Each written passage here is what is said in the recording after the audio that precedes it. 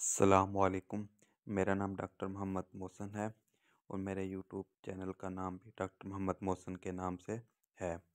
Please मेरे channel को like करें, सब्सक्राइब करें और आगे फॉरवर्ड करें। मैं आज आपको जर्सी काऊ के बारे में थोड़ी सी इन्फॉर्मेशन देना चाहता हूँ, क्योंकि माशाल्लाह पाकिस्तान में काफ़ी लोग जर्सी के बारे में दिलचस्पी रखती हैं और मेरा भी फ़र्स्ट टाइम एक्सपीरियंस हुआ है जर्सी पे काम करने का। तो मैं थोड़ा सा आपको इसके मतलब ब्रीफ कर देना चाहता हूँ। सबसे पहले हम जर्सी काओ की प्रोडक्शन के बारे में बात करेंगे। अगर प्रोडक्शन देखी जाए तो इसका जो एक लेक्टेशन पीरियड है, उसमें ये दूध आठ हज़ार तक देती है, इससे ज़्यादा नहीं जा सकती। एवरेज देखी जाए तो इसकी मैक्सिमम एवरेज 25 लीटर तक है।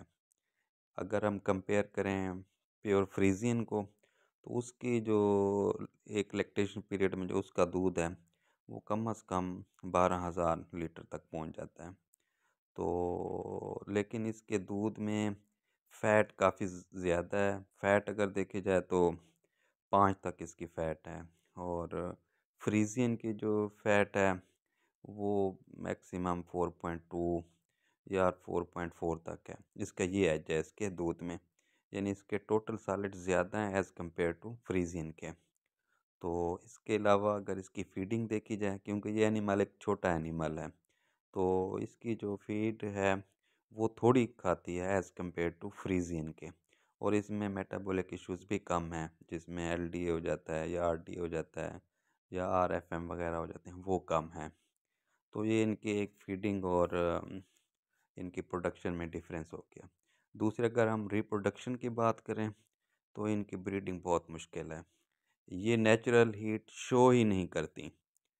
जिसमें, जिस तरह नेचुरल हीट के साइंस होती हैं, उसमें एनिमल माउंटिंग करता है, जंपिंग करता है, आवाज़ें निकालता है, लेकिन इसमें कुछ भी नहीं होती। अगर प्योर फ्रीजियन को देखा जाए, उसके साइंस जो हीट के होते हैं, बड़े प्रोमिनेंट होते हैं, वो जंपिंग करती हैं, आवाज़ें निकालते हैं, रेस्टलेसनेस उनमें होती है। यानी काफ़ी उनमें साइंस जो होते हैं, बंदा दूर से पता चल जाता है, ये काउ हीट में है। तो उसमें ये है कि इसके जो नेचुरल हीट है, वो शो नहीं करती जो है ना। तो इसी वजह से ये जो कंसीव होती हैं ना, वो बड़ी लेट होती हैं। मोस्टली अब मैंने इन पे मैं काम कर रहा हूँ।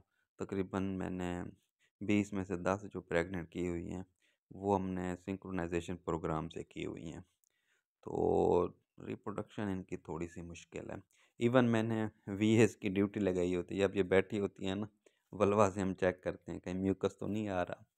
तो ये है कि इसकी थोड़ी सी रिप्रोडक्शन मुख्तलिफ़ है।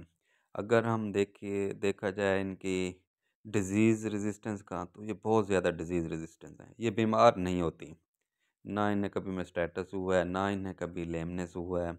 यानी ये बीमार बिल्कुल ही नहीं होती ना इनको कभी मेस्टेटस हुआ है। तो इन, ये ब्रीड जो है ना, डिज़ीज़ रेजिस्टेंस है। और दूसरा ये है कि ये जो जर्सी काव है, इसे आप फ्रीजिंग के साथ मिक्स नहीं कर सकते। अगर आपने इसे वेल मेंटेन रखना है तो इन्हें आप अलहदा रखें।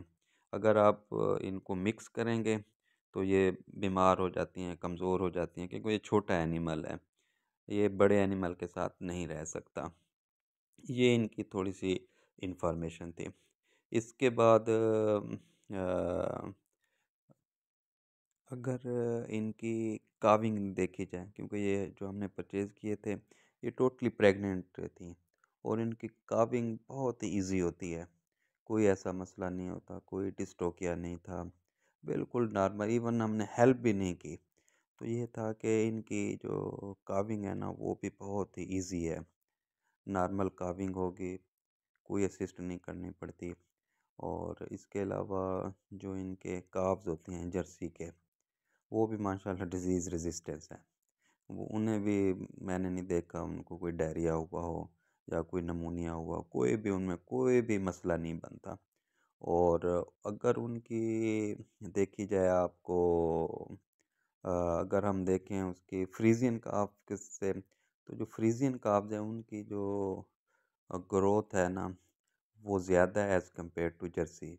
अब मैंने देखा है तकरीबन जो फ्रीजियन काफ है, उसकी ग्रोथ हमने तकरीबन मैक्सिमम वन के जी तक, विनिंग तक ली है। लेकिन जो जर्सी की है, उसकी पॉइंट सेवन से हमने ज़्यादा नहीं ली। तो ये है कि इनके जो लेकिन काफ इनके ज़्यादा डिज़ीज़ रेजिस्टेंस है। तो ओवरऑल ये है कि इसके अपने बेनिफिट भी हैं और लॉसेस भी हैं, लेकिन ये है कि ब्रीड अच्छी है।